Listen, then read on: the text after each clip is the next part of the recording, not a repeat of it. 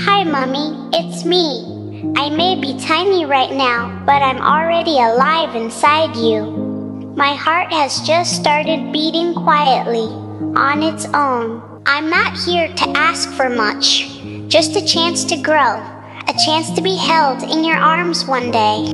I'm part of you, made from your strength, now alive inside you, growing with your love. Please keep me close, Mummy. I'm already dreaming of you.